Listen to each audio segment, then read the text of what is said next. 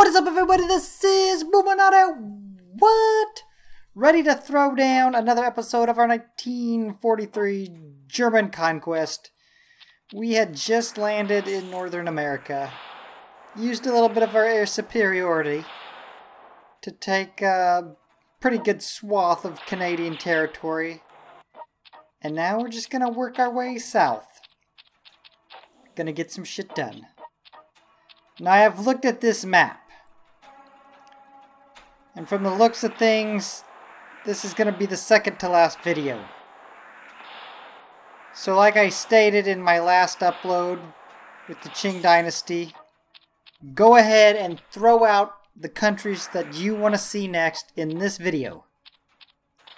And then I will take the top five and put them for vote in the final video. So obviously I got 39 unlocked, I got 43 unlocked, I got 50 unlocked. So just throw out some, some countries you want to see. If somebody else has already mentioned it, you can mention it again or like their comment. I'll, I'll include the likes as, as a vote towards that country. And I'll let that run for a day and then uh, check it out. See the top five and put them down. It saves me time, basically, instead of having to go back through all the videos or write them all down at the time I'm reading comments. Just a way to make it a little bit easier on me. Anyways, bros, I bought. I bought Mr. Rommel. If you watched yesterday, I finally got the 40% off unlock on him. I needed like 200 medals to get him. I ended up playing one more hard mission. Actually, the last hard mission I had to do in the uh, Pacific campaigns. Got it, which allowed me to get the achievement for beating them all on hard. Gave me 350 medals, and instantly Bob Rommel.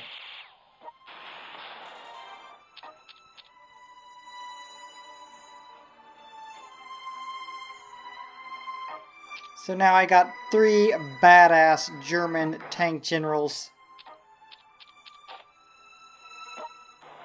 I've got... I feel pretty good that my tech level is on par for any country in 1950. I definitely have the generals for it now. If you don't remember, I'd already beat it with what I had and my crappy tech level. With... was it the US I played with? Um, shit, I don't even remember who I played with. Yeah, it was the US, I remember. Because I went and landed in Northern Europe, kind of like Netherlands area, and got my ass kicked for a while.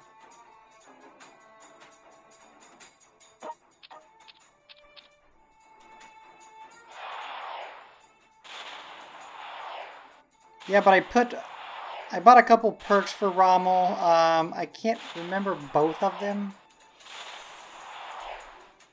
I put Rumor on him. Rumor is supposed to be really badass at max level. Like OP type of badass. So I'll put it on Rommel, I'll slowly upgrade it, and if it is so badass, and OP, then I will put it on my other generals, but um, I'm not going to change them all right now.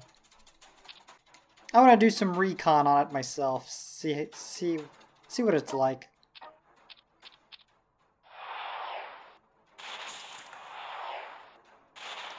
Cuba, you made a big mistake by letting me get that close. Now your time as a nation has come to an end. You know what? Earlier today, I, I replayed...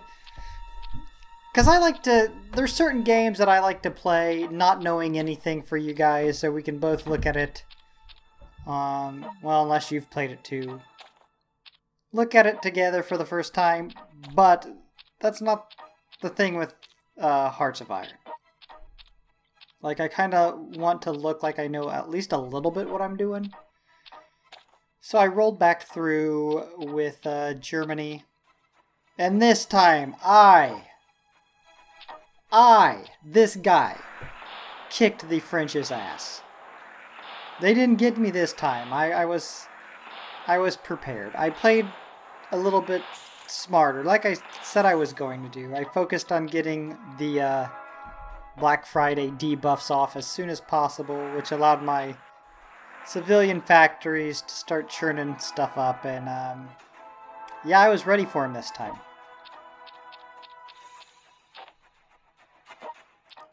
It's like I don't I don't go to pick a fight with them. They come at me. Like I just won World War One just what like two decades earlier, and now they're already coming back at me again.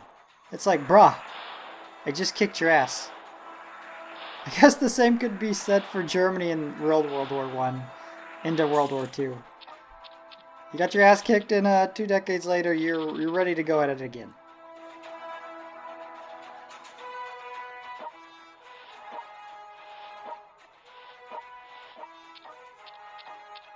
So I'm kind I'm trying to decide um, what type of general I want to pick up next.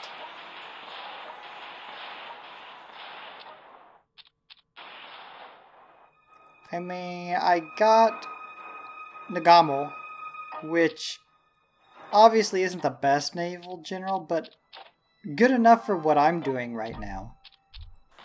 He's like he's perfect for what for where I'm at right now. I don't I don't need any better one. And infantry generals, man, they don't last long in like a conquest or missions, do they? I mean, you can wreck somebody for like maybe two times before you're dead. I'm thinking I'm going to pick up another artillery general. Konev, most likely. Then if I do pick up another infantry general, it'd probably be Rundstedt. I haven't really looked at the generals as far as the uh, infantry abilities. I need to do that.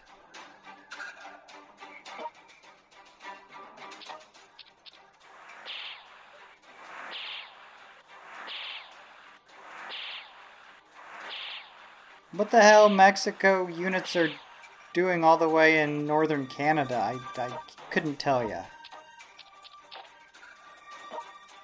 I'm sure they are cold as shit. I wish this had like a clock when you start out a conquest. Like the seasons and the, the year you're in and how many years you've been playing and stuff. I think that would be a nice addition.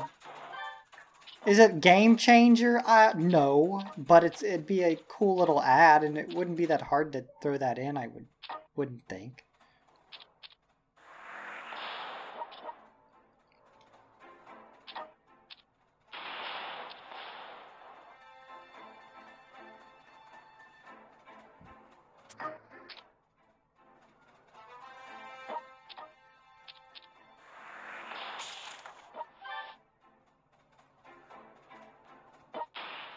I'm gonna have to take out this crap to get to Midway.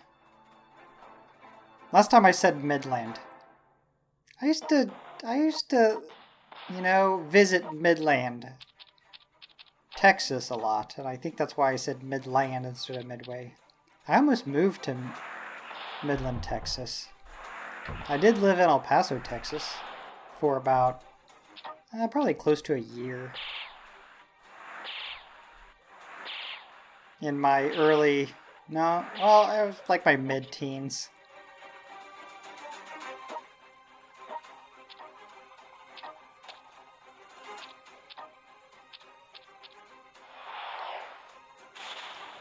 go ahead and finish LA off.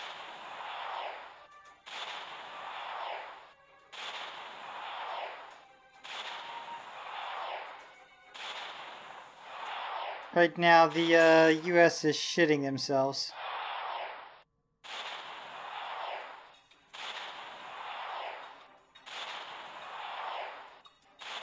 We have Germans on the west coast.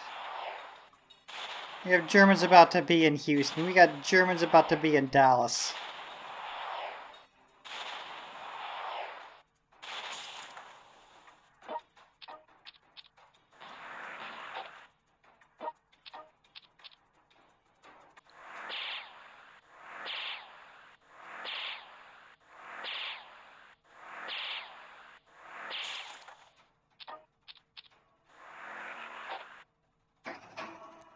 Boom.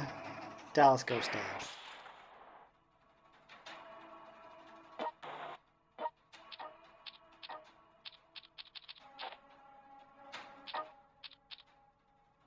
Oh, you, so yeah, I, I was talking about um the full episode of the Empires mod I'm going to do for the weekend. I've I've played a little bit. I've got a little bit of tech level. Um, it's one of those mods that sure don't help you out any in like the quickness that you get medals or resources. I can tell you that. But the premium generals, your Zhukov, Manstein, Eisenhower, are only a thousand nine hundred medals. But in this game, they're not the most badass. It's obviously like Alexander and Caesar and and those added um, Galactic Empire generals. I would like to at least get Manstein.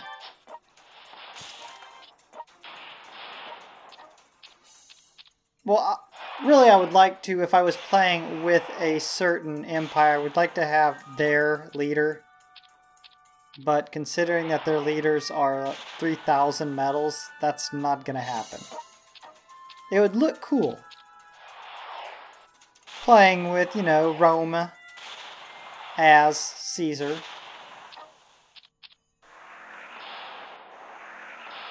But I ain't gonna grind for 3,000 medals.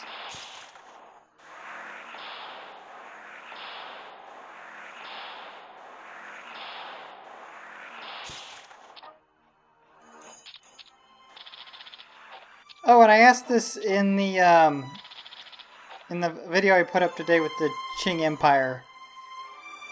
I didn't. I looked through the comments a while ago. I didn't see anybody had answered it. But if any of you have downloaded and played the World War II mod for European War 4, can you guys zoom out? Because my camera is is like fixed. I can't zoom out or in. It's just like a fixed box. I was wondering if that was just me, or, or what the hell was going on.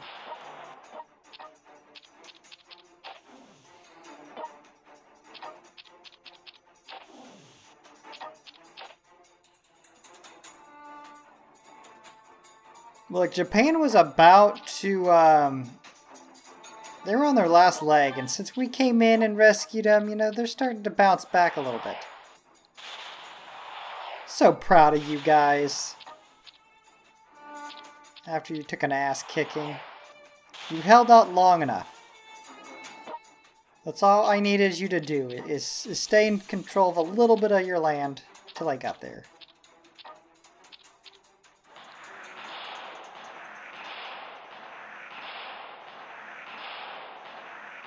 And with that, I don't think Brazil has any ports. This should be it for them.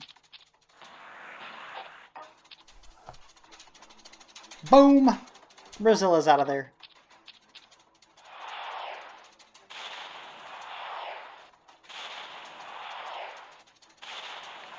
I really need to up my missile technology.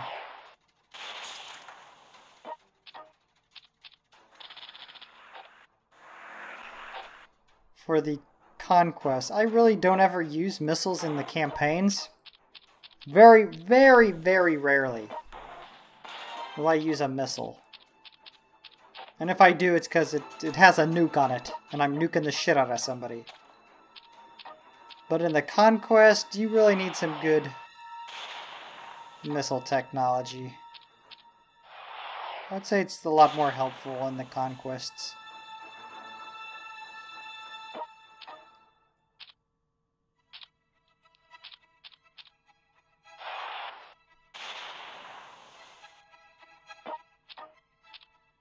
Well, I'm going to go ahead and I'm going to wrap this video up. Don't forget to throw down some comments about the countries you'd like to see next. If you're enjoying this content, you know what to do. Slap the shit out like, subscribe, and I'll see you back here for our next upload. Peace. Bruchminati.